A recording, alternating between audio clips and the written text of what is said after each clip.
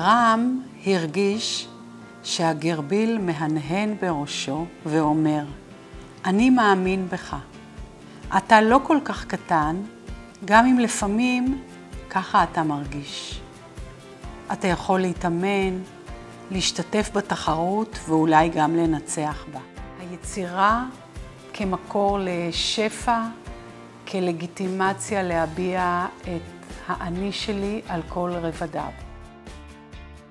כתבתי שני ספרים שעוסקים בקנאה ובהתמודדות עם האח הקטן שנולד.